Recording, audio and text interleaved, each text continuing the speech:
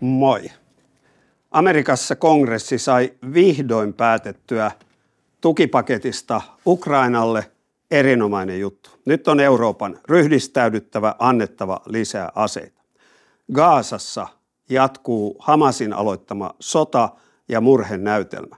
Hamas näkyy torjuvan väliaikaisen tulitauon, ellei saa pysyvää tulitaukoa. Onko tämä gaasalaisten siviilien etu?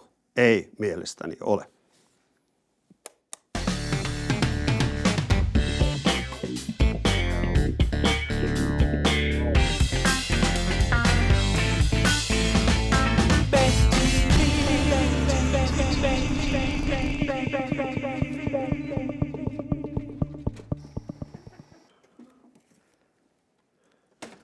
Piti kopioida tätä lakikirjaa, kun mulla ei ole omaa. Mutta ennen juridiikkaa puhun taloudesta.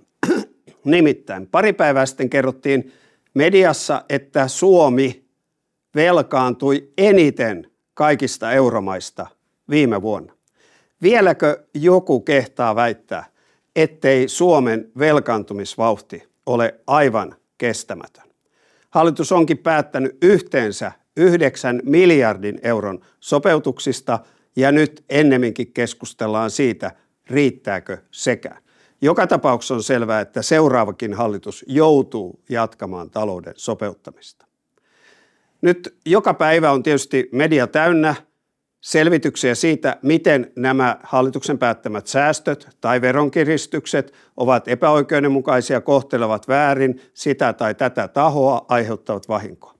Ja tiedättekö, nämä monet kritiikit on ihan perusteltuja. Ei näitä säästöjä ja veronkorotuksia pysty tekemään niin, ettei ne aiheuttaisi erilaista haittaa ja vahinkoa hyvin laajalle suomalaiseen yhteiskuntaan. Mutta sanottava on kuitenkin se, että monia yksityiskohtia tässä matkan varrella ennen toteutusta vielä uudelleen käydään läpi ja varmasti tulee myös korjauksia ja muutoksia siihen, mitä tähän mennessä on päätetty.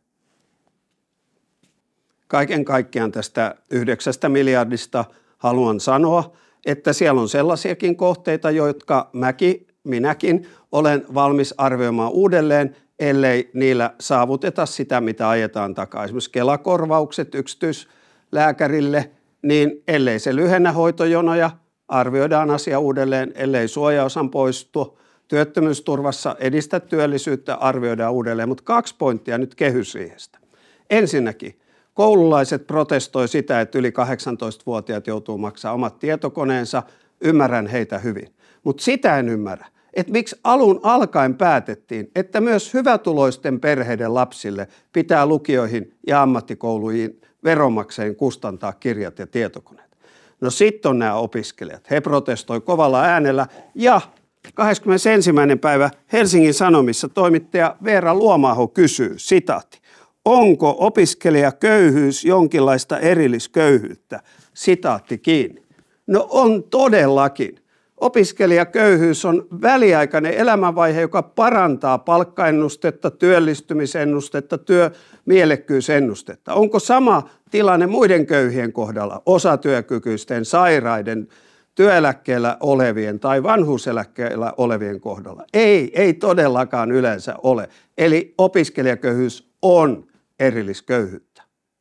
Täällä eduskunnassa oppositio joka päivä ja joka ilta – arvostelee hallituksen veronkiristyksiä kautta säästöjä. Mutta ne tunnustaa samalla, että on tarvetta miljardeilla euroilla, ehkä yhdeksällä miljardilla todellakin sopeuttaa julkistaloutta. Niin kauan kuin ei esitä vaihtoehtoa, uskottavaa vaihtoehtoa, niin kauan tämä on ihan tyhjää puhetta. No, nyt ne sanoo esimerkiksi vihreät, että joo, meillä on miljardien sopeutuspaketti. No mä katoin tämän heidän paperinsa, jonka he esitti. Mä saan tästä korkeintaan 1,5-2 miljardia. Sitten Kepu esittää erilaisia eläkeuudistuksia, joita ollaan jo tekemässä, ja lupaa kovaa kasvupakettia. Hyvä niin. Ja demarit ei vielä ole esittänyt oikeastaan yhtään mitään. Niin sovitaan näin oppositio, että te teette sen 9 miljardin vaihtoehdon. Te lyötte sen pöytään. Ja valtiovarainministeriö tai eduskunnan tietopalvelu laskee sen, mitä se teidän vaihtoehto on oikeasti syönyt. Ja mä lupaan teille, että ellei VM tai tietopalvelu laske, niin mä kustannan ihan omista rahoistani sen, kun joku talouden tutkimuslaitos laskee näiden kolmen puolueen yhdeksän miljardin sopeutusvaihtoehdon. Viime aikoina on käyty aivan kummallista keskustelua tuomioistuinlaitoksen riippumattomuudesta ja vielä kummallisempaa keskustelua siitä, saako ministeri ohjata oman ministeriönsä työtä ja suunnata sitä. Mitä oikeuslaitoksen riippumattomuuteen tulee, niin kukaan järkevä ihminen ei vastusta tuomioistuinlaitoksen ja syyttäjälaitoksen ja niin edelleen riippumattomuutta.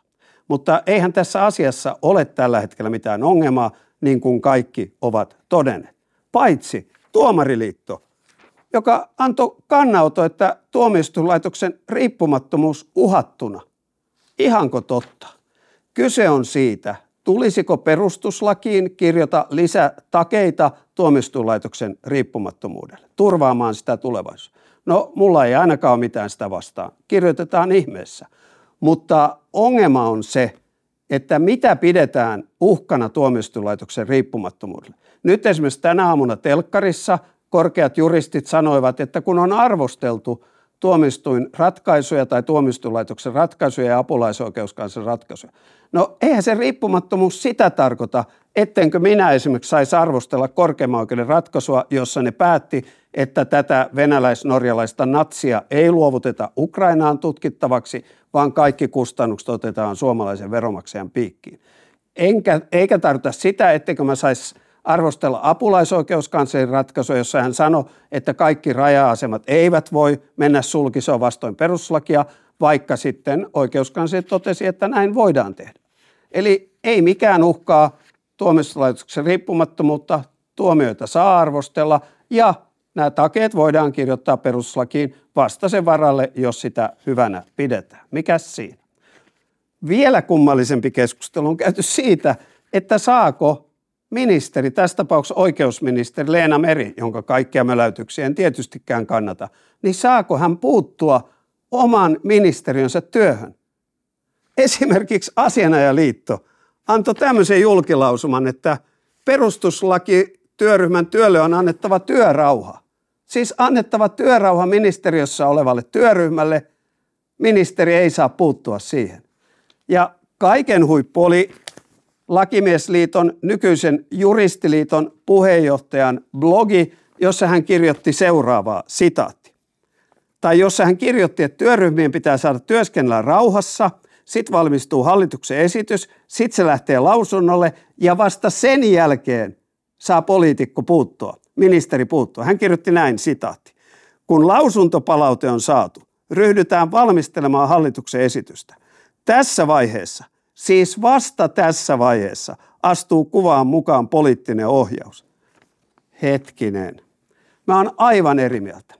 Kun meillä on vaalit ja vaalituloksen pohjalta syntyy uusi hallitus. Ja se hallitus hyväksyy itselleen ohjelman. Ja se ohjelma vielä eduskunnassa tiedonanto äänestyksenä hyväksytään, niin sen jälkeen ministerin tehtävänä on kävellä sinne ministeriöön ja ohjata poliittisesti sitä ministeriötä valmistelemaan sellaisia lakihankkeita, jotka toteuttaa uuden hallituksen uutta ohjelmaa.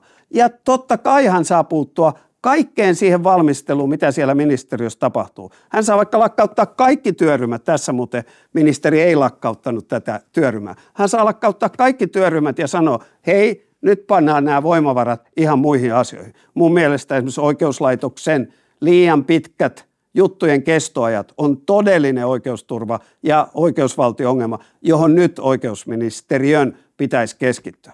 Hän saa näin toimia. Tietysti saa. Se kuuluu tähän meidän demokratiaan. Ajatellaan nyt esimerkiksi, että nykyinen sisäministeri Rantanen asettaisi työryhmä tuolla sisäministeriössä, joka työryhmä toimeksiantonsa mukaisesti olisi kiristämässä edelleen maahanmuuttopolitiikkaa. Sitten meillä tulisi vaalit, tulisi uusi hallitus ja uusi sisäministeri olisi sanotaan vaikka vihreän puheenjohtaja Sofia Virta. Niin eikö Sofia Virta mukaan saisi lakkauttaa sitä työryhmää tai ohjata sen työtä ja sanoa, että hei, uuden hallitusohjelman mukaan me ei suinkaan kiristetä, vaan väljennetään maahanmuuttopolitiikkaa. Totta kai näin saa toimia. Aivan käsittämätön keskustelu. Jotenkin näiden huippujuristien ja juristielitin ajatukset melkein pakottaa siihen, että pitäisikö tuolla oikeuksessa vähän vielä lisää kouluttaa siihen, että miten meidän demokratia toimii. No joo, ihan lopuksi. Huomasin, että Lenin-museo ollaan sulkemassa. Mä vastustan. Mun mielestä siellä Lenin-museossa pitäisi vaan lisätä tietoa Leninin rikoksista venäläisiä vastaan ja kommunismin kaiken maailman tuhotöistä, ihmisten murhaamisesta ja rikoksista ihmisyyttä vastaan. Itse museo ei tarvitse lakkauttaa. Moikka!